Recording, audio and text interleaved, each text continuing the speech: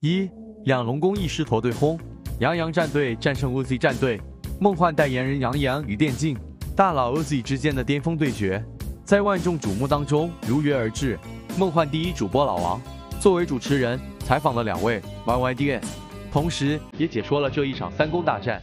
狮驼岭门派超强的爆发力，能用一个九转换对面一大片大金，以一己之力改变战局的能力，成为了杨洋和 OZ 两人最喜爱的门派。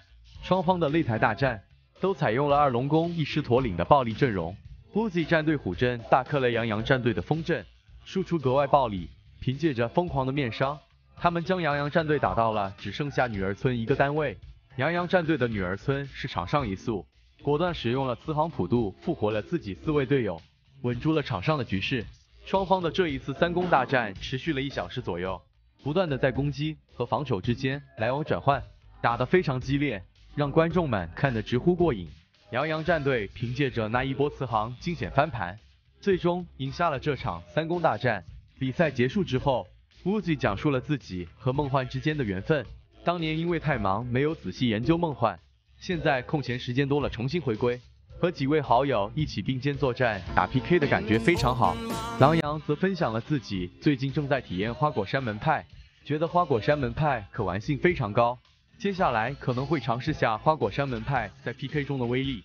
二，浩文豪取三连胜，离总决赛只差两场胜利。七月三十日的全民 PK 争霸赛当中，全民组的赛区赛一共进行了三轮，浩文将率领勇敢猴猴战队霸气出征，冲刺最后的总决赛。面对一年一次的全民 PK 赛，浩文这一次再也没有吝啬自己的药品。第一场面对半江渔火战队，他几乎吃光了所有药品。第二场。面对蛮不讲理战队，浩文逆风大翻盘，引来了一众猴粉的精彩欢呼。第三场面对蔚然如风战队，尽管阵法被对手大克，但是浩文打得非常自信，依靠着自己最擅长的宙师、普陀加神木林阵容，成功获胜，晋级了全民组南方赛区的八强。浩文领衔的勇敢猴猴战队，距离全民 PK 的全国总决赛还差最后的两场胜利，让我们一起拭目以待吧。